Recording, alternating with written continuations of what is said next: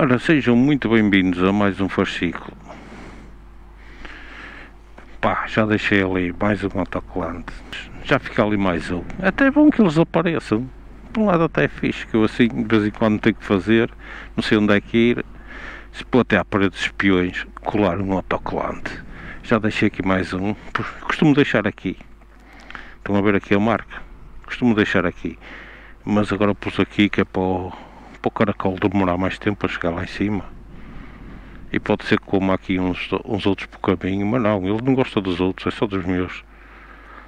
Uh...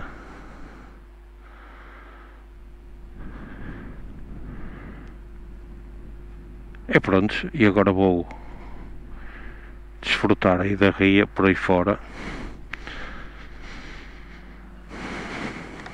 Se calhar vou tomar ali um cafezinho no farol. A ria hoje não está muito cheia. Isto é só lodo. Já andei pessoal a apanhar minhocas.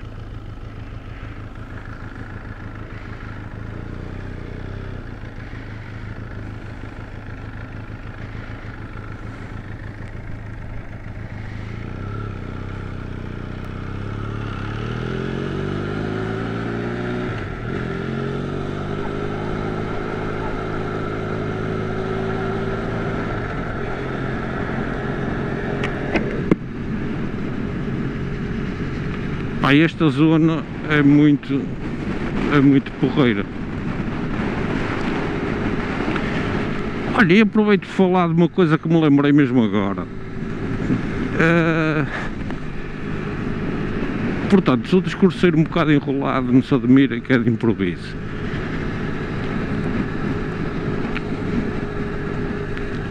E, e queria falar em relação às formas de estar no YouTube, com os objetivos de, de um canal no YouTube. Porque já algumas vezes, às vezes faço alguma crítica ou não sei o que e levo sempre com aquele argumento para ler, ah, mas eu tenho mais visualizações, eu tenho mais subscritores e blá blá blá e os caçaquetas. Uh, pá, e há formas diferentes de estar no YouTube na minha opinião, principalmente há duas maneiras de estar no YouTube. Há pessoal que está no YouTube para ganhar dinheiro, para ter muitas visualizações, para fazer crescer os canais e para tirar dividendos acerca disso.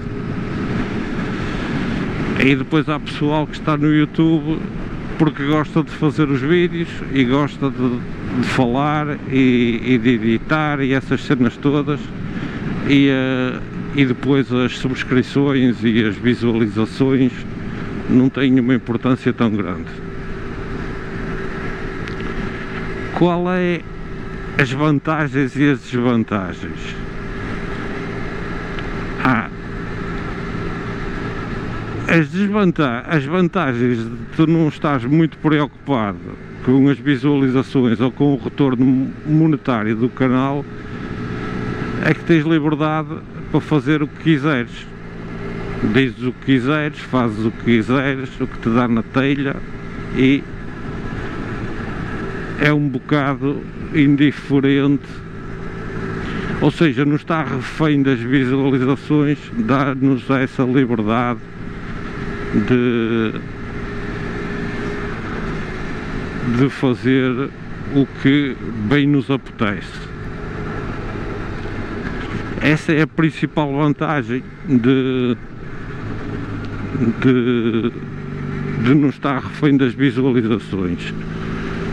A, a desvantagem é que ou fazes alguma coisa muito original que se torna vi, viral, ou então pá, tirar um retorno do canal nem sempre é fácil. Um retorno monetário, digo eu. Uh, E pá, isto hoje está engraçado. Por acaso nunca tinha visto a ria assim tão baixa. O outro lado, as pessoas que, que estão para, para tirar um retorno monetário do, do, do, do canal ou para fazer crescer os canais e para fazer daquilo um rendimento. Pá, a vantagem é que têm um rendimento, ganham dinheiro com o YouTube. A desvantagem é que estão reféns das visualizações e não podem fazer o que querem, não podem, muitas vezes não fazem o que gostam e têm que estar sempre a pensar em fazer aquilo que os, que os subscritores vão gostar porque senão depois não têm visualizações e o objetivo é as visualizações para atrair publicidade e, e patrocínios e essas cenas todas. Pá, a malta que, que que quer fazer do, do YouTube uma fonte de rendimento tem que tem que definir o público-alvo que quer atingir e depois dar-lhes o que eles gostam, que é para conseguirem uh, ter exposição. Isto é como isto é como quem tem uma loja de roupa vocês têm duas hipóteses, ou, ou põem à venda a roupa que vocês gostam e correm o risco de vender pouca coisa porque se não houver pessoas, muitas pessoas com gostos iguais aos vossos, vocês não vão vender nada. Ou então se querem fazer da loja uma coisa rentável, têm que pôr à venda a roupa que acham que o vosso público-alvo vai gostar. Estou a perceber a minha ideia. E o YouTube é igual. Aí tem total mal está a fazer kitesurf.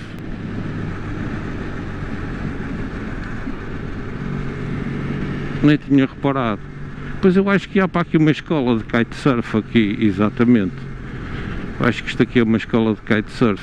E está aí total malta a fazer kitesurf.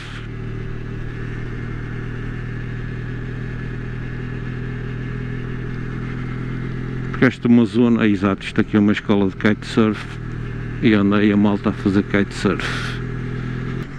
Vocês têm que escolher, ou querem rentabilizar a coisa e estão reféns das, das visualizações ou fazem o que querem e o que vier é lucro. Agora, qual é o problema de ir ali ao, ao farol? É que agora vamos apanhar estes paralelos todos fodidos.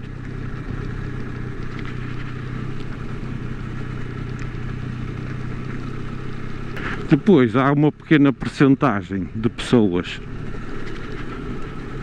fazem o que gostam, fazem os vídeos que gostam, mas como os fazem de, de forma original ou, pá, ou porque têm muito jeito para aquilo, conseguem rentabilizar aquilo que gostam. Mas isso é uma, uma parte ínfima dos canais de YouTube. Normalmente aqueles canais que têm muitas visualizações são coisas com estratégias pensadas e, e calculadas para atingir aquele tipo de de prestação.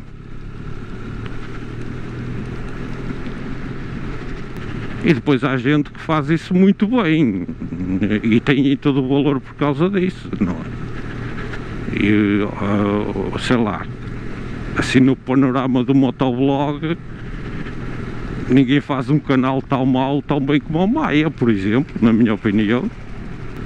As coisas que ele faz, ou que ele diz, não são nada de especial, mas ele tem ali uma sensibilidade especial para acertar na mousse do que o pessoal gosta, ou do que os, os, os seus subscritores ou o público-alvo que ele definiu gosta.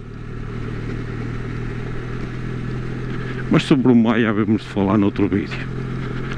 Espero que tenham gostado do vídeo. Fiquem bem, divirtam-se e até ao próximo fascículo. Não, não vou despedir aqui, agora só me despeço. Ali embaixo no farol. Estamos a chegar aqui ao farol. A estrada esta é uma seca do caraças, mas o sítio é fixe.